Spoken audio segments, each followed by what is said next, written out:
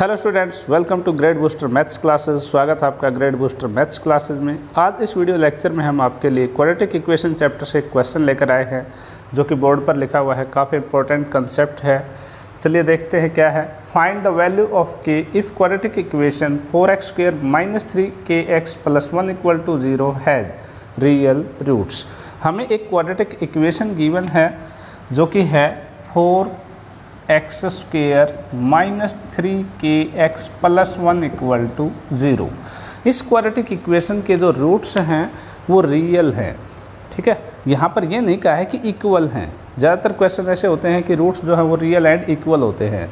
यहाँ पे हमसे कहा है रूट्स जो हैं, वो रियल हैं। तो हमें फाइंड आउट करना है कि इस के की वैल्यू क्या होगी। तो इसके लिए हमें पता है कि जब भी किसी क्वाड्रेटिक इक्वेशन के रूट्स रियल होते हैं तो किस केस में होते हैं? डी जो है, वो अगर ज़ीरो से बड़ा या ज़ीरो के इक्वल हो।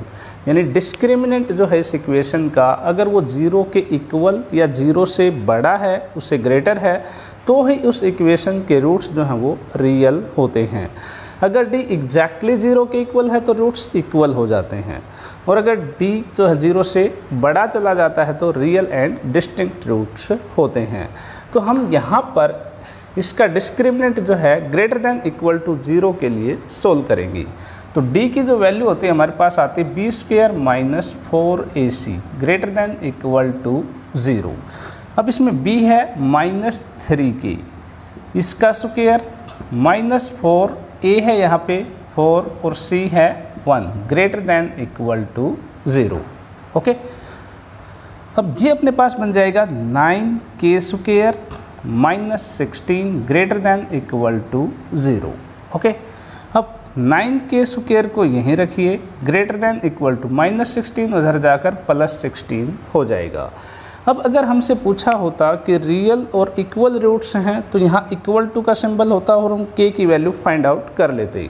लेकिन यहाँ पर इनक्वेलिटी है इक्वेशन नहीं है ग्रेटर दैन इक्वल टू का सिंबल है, यानी कि जो के नाइन के स्क्वेयर की वैल्यू है, वो सिक्सटीन से बड़ी भी हो सकती है और इसके इक्वल भी हो सकती है। तो अब ऐसी सिचुएशन में आपको क्या करना है? आप पुट कर लेंगे। Put nine K square equal to sixteen यानी कि हमने अब अलग से लिखा है। हमने एज्यूम कर लिया कि ये जो है, इसके एग्जैक्ट इक्वल है। हालाँकि हमें इनक्वलिटी गिवन है नाइन के स्क्वायर की वैल्यू सिक्सटीन से लार्जर या उसके इक्वल हो सकती है बट हमने एज्यूम कर लिया कि ये इसके इक्वल हमने पुट कर लिया, ठीक है? अब यहाँ से हम के की वैल्यू निकालेंगे। K square equal to sixteen upon nine K हमारे पास आ जाएगा plus minus four upon three दोनों तरफ़ स्क्वेयर रूट करने पर। अब आपको क्या करना है, एक नंबर लाइन ड्रा करनी है। ऐसे एक स्ट्रेट नंबर लाइन हम ड्रा करेंगे। बीच में ज़ीरो पुट कर लें और इधर पॉजिटिव वैल्यू इधर नेगेटिव वैल्यू होती हैं। तो यहाँ पर के की दो वैल्यू हैं हमारे पास माइनस फोर बाई थ्री मान लीजिए यहाँ पे माइनस फोर बाई थ्री है और यहाँ पे प्लस का फोर बाई थ्री है। ठीक है? अब यहाँ पर K square greater than equal to का सिंबल है। अगर लेस देन इक्वल टू आ जाए सिंप्लीफाई करते टाइम तो अलग केस होगा और ग्रेटर देन इक्वल टू जो हमारे पास अभी है, इसमें अलग सिचुएशन है। जब greater than equal to symbol है तो हमारे पास जो वैल्यूज़ हैं, वो इस रेंज से इधर होंगी और इस रेंज से इधर।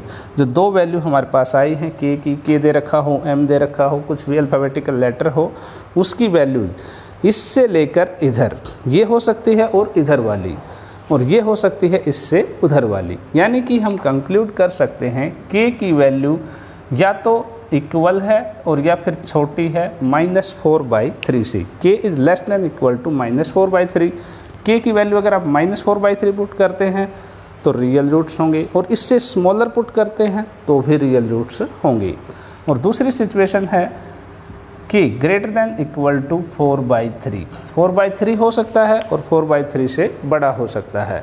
अगर माइनस फोर बाई थ्री या प्लस फोर बाई थ्री है तो रूट्स इक्वल होंगे। अगर इधर वाली कोई वैल्यू लेते हैं और इधर वाली लेते हैं तो रूट्स जो हैं, वो अनइक्वल होंगी, यानी डिस्टिंक्ट होंगी। तो ये था आज का क्वेश्चन। उम्मीद है आपको अच्छी तरह से समझ में आया है। अगर आपको वीडियो अच्छी लगी है, आपके लिए हेल्पफुल रही है तो लाइक, शेयर, कमेंट ज़रूर कीजिएगा। और ऐसे वीडियो लगातार देखते रहने के लिए चैनल सब्सक्राइब करना न भूलें। Thank you very much and have a nice day